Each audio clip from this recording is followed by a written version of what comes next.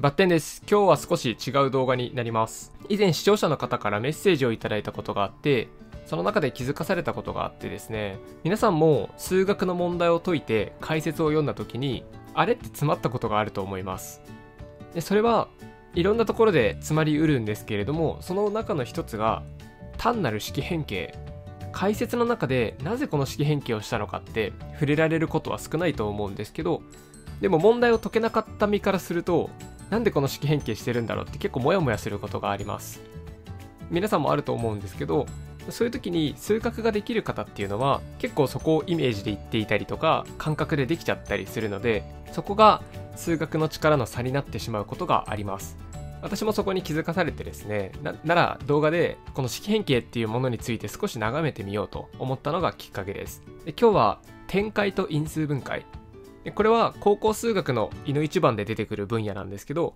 いの一番ってすごい不思議な言葉なんですよね。最初の「い」ってこれいろはにほへとの「い」でなので一番最初に出てくる文字。なのでいの一番で一番最初って意味なんですけどいの時点でもう一番なんですよね。なのでいの一番っていうとなんかこう重なってる気がしてあの頭痛が痛いっていうのと同じぐらい、まあ、気持ち悪い言葉だなと個人的には思うんですがそれは置いといて展開と因数分解っていうまあ、最初に出てくる分野なんですがこの2つってその後高校数学やっていく中でずっとつきまとってくる分野なんですよね。式変形っていう点において。でもなかなかそこに立ち戻る機会ってないと思うんで一旦高校数学の単元をさらっとでも通っている方を対象にどういう場面で展開と因数分解が出てくるか。どういう使い方をしてどういう使い分けがあってでもどういう例外があってっていう話をしてみます。なのでもしこの動画を見終わった後に何本続くかわかんないですけど少しでもですね頭がすっきりしてモヤモヤが少しでも解消できていたらいいかなと思います。で目次ですけれども最初に展開と因数分解でどういう時に登場するかっていう話をしてみます。でその後に具体的に展開の工夫ですとか因数分解。これもいろんなツールがあるんでそれを完全網羅はできてないかもしれませんがある程度系統立てて整理してみたいと思います。で後半の2つは次回になるかなと思います。では早速展開と因数分解を復習したいと思います。x3 乗プラス1っていう多項式整式があった時にもう一つ x プラス1かける x2 乗マイナス x プラス1っていう整式同士の掛け算ですね。この形があったとします。でこの2つは完全に同じ式なんですね。つまりこの右側を展開すると左側に行きますし左側を因数分解すると右側に行きます。つまり展開っていうのは何か整式同士の掛け算とかがあった時にそれをプラスマイナスの形数学っぽく言うと単項式の和とか積として表すことを展開って言います。で因数分解っていうのはそういう単項式の和とか差で表されたものを整式の積の形教科書には厳密には1次以上の整式の積の形って書いてますがそういう掛け算の形にするっていうのが因数分解です。これはいいと思うんですよね。でじゃあまずはどういう効果があるのかっていう話をします。展開については掛け算になっているものを和とか差にするんですけどこれは全体で何かの演算をするときに役に立つことがあります。逆に因数分解っていうのは何か問題を分割してこう全体を考えるんじゃなくて要素要素を見ていきたい時に有効なことがあります。じゃあそれぞれ具体的に高校数学の分野においてどういう時に登場しやすいかっていうのを考えてみます。是非これ一緒に考えてみてほしいんですけどまずじゃあ展開。展開しないと演算がしにくいようなそういう分野って何がありますか？例えばシグマ計算。あとは微分。微分も正式の掛け算の形よりももうばらして展開したものを微分した方が計算しやすいことが多いです。あとは積分。あとは内積なんかも結構ばらしますね。こういうものがあるんですけれどもこの4つにはある共通点があります。それは何だか分かりますか？これは少し掘り下げたテーマになってしまうんですが実はこの4つの計算、まあ、演算ですね。に関しては線形性って言われる性質があります。線形性って何かっていうとある演算を例えば f 括弧で表すとすると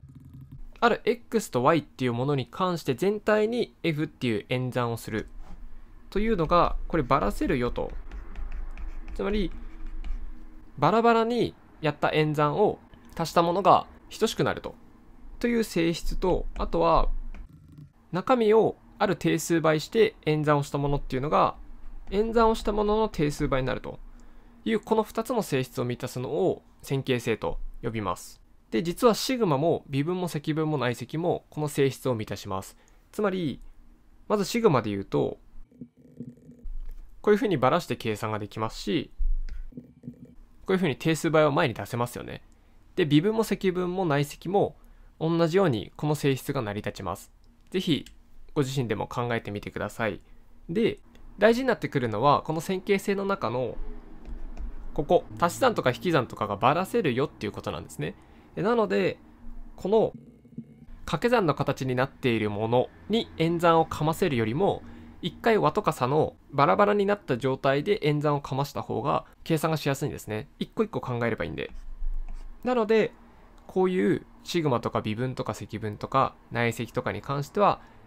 展開した方が計算がしやすいことが多いとなってきます。でもちろん例外もあって例えばシグマに関して例外を言うと例外っていうのはつまり展開せずにある程度こう塊を残しておいた方がいいよっていう計算の例なんですけど例えばこういうシグマ計算を考えてみます。でこれも今のルールにのっとると中身を展開した方がいいんじゃないかって思うんですよね。つまりこういう形ですよね。なんですけど実はこれはもっと楽に処理をする方法があって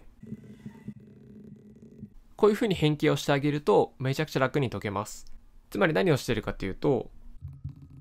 隣り合うものの引き算を無理やり作ってるんですね。でこれはここが共通していて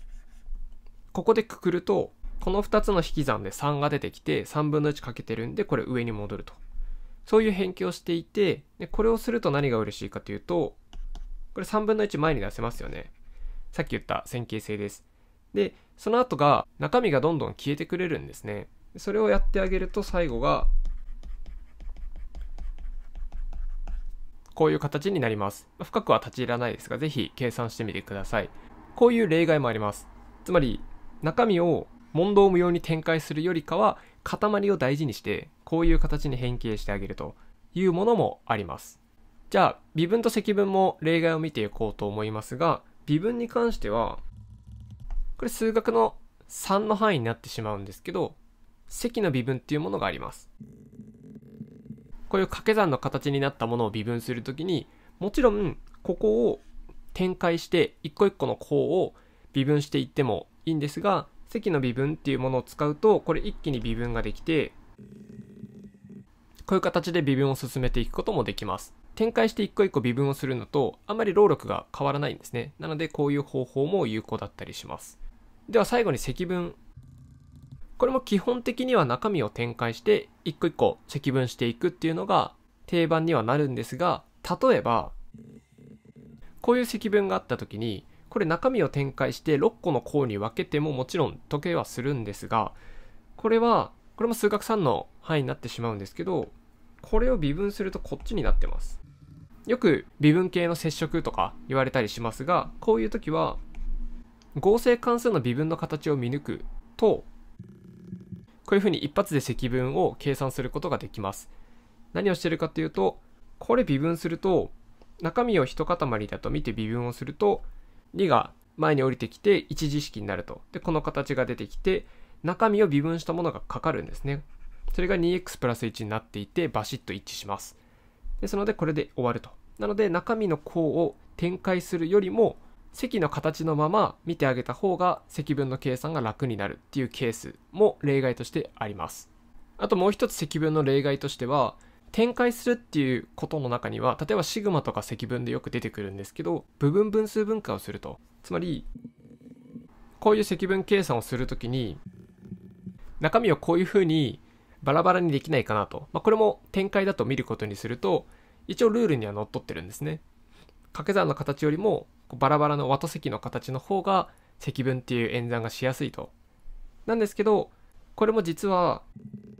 分母は展開するんですけれどもこの分子っていうのが分母の微分の形だなと。気づくとこれは一瞬で積分の計算ができます。つまりさっきの微分系の接触と一緒でこれもログのこれを一塊と見て同関数っていうのはこれが分母に来て分の1でこの中身の微分がかかると。なのでこれで積分が完了します。ですのでもちろん例外っていうのはあるんですけど基本的にはこういう線形性を持った演算っていうのは因数分解されている積の形よりも和とか差の形の方が計算がしやすいことが一般的には多いです。では次因数分解ですね。これはどういう時に発生するかというと何か問題をこう部分的に見たい場合ですよね。問題を分割したい時。でそれどういう時かっていうと方程式を解いたりとか整数問題で絞り込みをかけたい時。こういう時は因数分解っていう式変形が有効になることが多いです。方程式を解くっていうのもこの上の例だと3次式ですけれども x3 乗プラス1イコール0っていう3次方程式のまま考えるよりも左辺を因数分解してあげるととなって1次と2次に問題を分割できるんですね。1次方程式と2次方程式考えればよくなるんでだいぶ楽になります。これが方程式を解くっていう時に因数分解が有効だよっていう話です。でもう一つ整数問題の絞り込みっていうのもこれも整数問題でよく出てきますけど掛け算の形にしてあげると範囲を絞ることができると。つまり例えばこういう整数 a と b に対してあと素数 p に対してまあこういう式が成り立っていると。これを左辺因数分解してあげてこういう形にしてあげると掛け算をして p になる。P っていう素数になると。で掛け算をして p になるってことは組み合わせがすごい絞れて複合同順でこの4パターンしかなくなるんですね。なので整数問題を考えやすくなる。これらは問題を分割してちっちゃい塊で考えたい時にこの因数分解っていう技を使うことで考えやすくなってます。でもちろんこっちにも例外はあって例えば方程式を解くっていう場合に二次方程式を考えます。この時に何かたすき掛けとかを使ってきれいに因数分解できたらいいんですけどきれいにつまり全部の係数が整数になっているようなきれいな因数分解ができない時っていうのがあります。そういう時はじゃあ方程式が解けないのかっていうとそういうことはなくて二次方程式の場合は因数分解ができなくても解の公式で解を求めることができます。のでもちろんこういう例外はあるんですが3時4時5時とかになっていくと解の公式っていうのは3次方程式4次方程式については解の公式って実はあるんですが